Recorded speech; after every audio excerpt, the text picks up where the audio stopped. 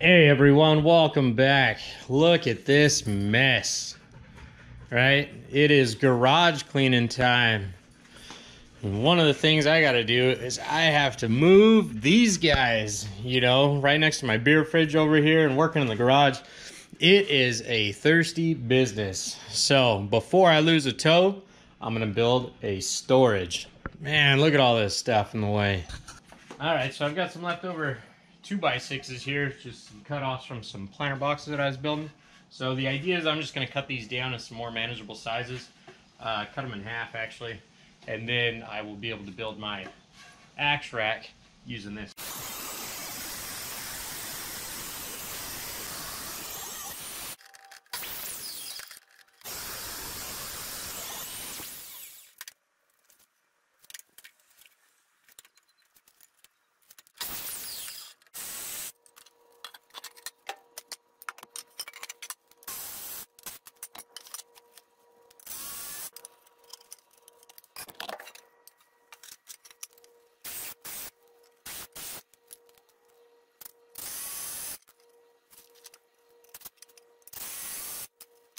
Classic measure twice, cut four times.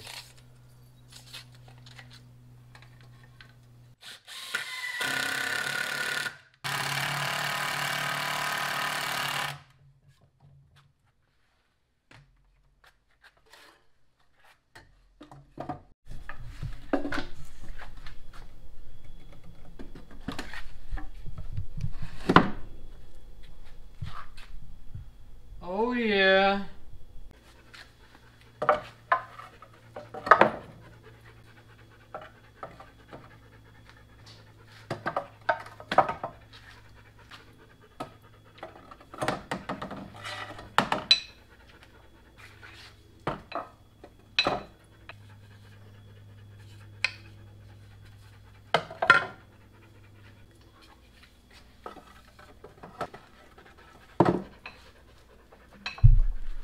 Like a lot of my ideas, they just sort of evolve as they go.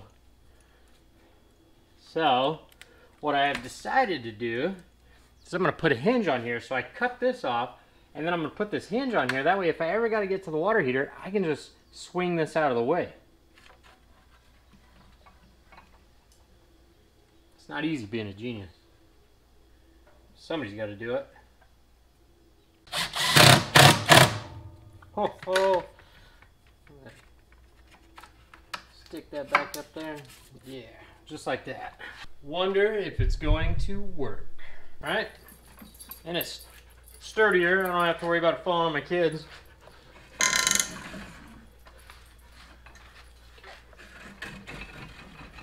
Yeah. Bet you I could put some little casters on here or something. Just get that up a little bit.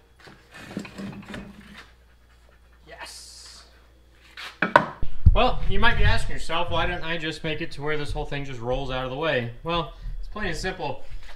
This is pretty tall. It's pretty top heavy. So I'd rather have it attached to the wall. This is California. Things do topple every once in a while. Um, also, I've got some rambunctious kids. I don't want them coming trying to climb on this and then all of a sudden losing a, a toe or a, a arm or some fingers or something because this falls on them. So I think what I'm going to do is I'm just going to put a quick maybe like a little gate latch or something down here. I'll add one more hinge and we'll call it a day. But I got this out of my way so now I can finish cleaning up my mess. Oh man. Alright guys, well, according to this guy, if you liked it, if you found it helpful, make sure you hit that like button. If you're new to the channel and you haven't done so yet, make sure you subscribe. Oh, by the way, I think it's hotter without the beard. Man,